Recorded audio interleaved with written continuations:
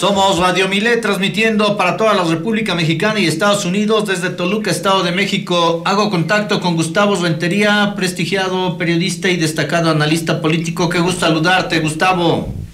¿Qué tal, querido Joel? Te saludo con afecto, eh, un muy fuerte abrazo. Bueno, hay buenas noticias porque en las próximas horas llegaremos a 85 millones de vacunas. No coincide la cifra con el número de vacunados.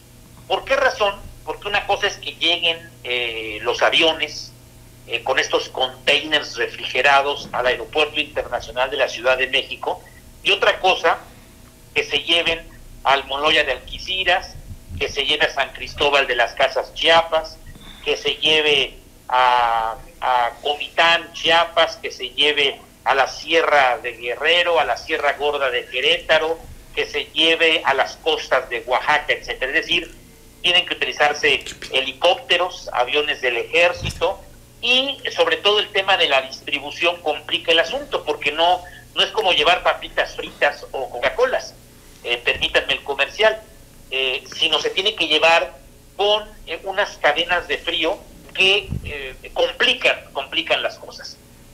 pero a lo que voy es de que más allá de que ya hay muchos vacunados, con la dosis completa o la pauta completa y otros ya tienen la primera dosis, inclusive algunos chavos de 18 años, eh, lo, que hay que reflexionar es lo que ha dicho, por ejemplo, el presidente Macron y lo que ha dicho el alcalde de eh, Mazatlán, Sinaloa, en México, y ahora está advirtiendo la Secretaría de Salud de que ya vacunados muchos pueden regresar a trabajar.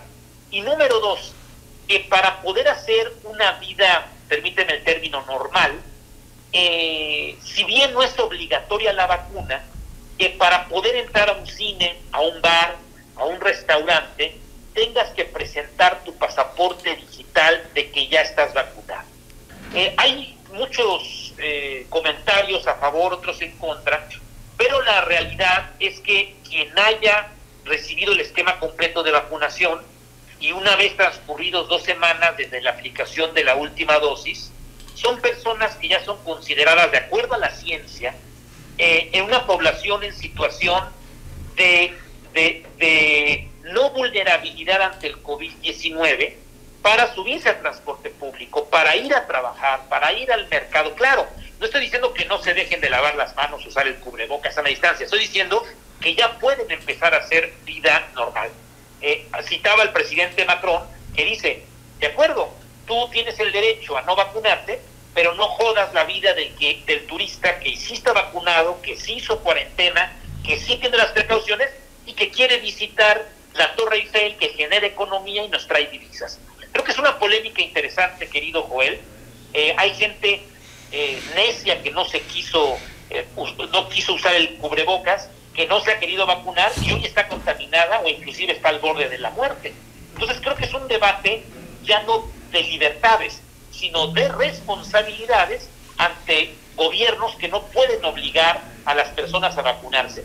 Pero recordemos que la libertad tuya acaba donde empieza la mía, mi, muy querido amigo. Sí, así lo, así lo determinan. Inclusive, eh, bueno, pues este, esta situación de que quieren que se tenga la reapertura económica, pero al mismo tiempo pues trae consigo obviamente la posibilidad latente de que pudiera haber contagios, como sucede allá en, el Mazatlán hoy en día, que no solamente son para turistas, sino para la población en general, y lo que sucede en Cancún, que a los turistas que ya tienen unos días ahí, resulta que ahora tienen que presentar documentos que obviamente no los traen consigo.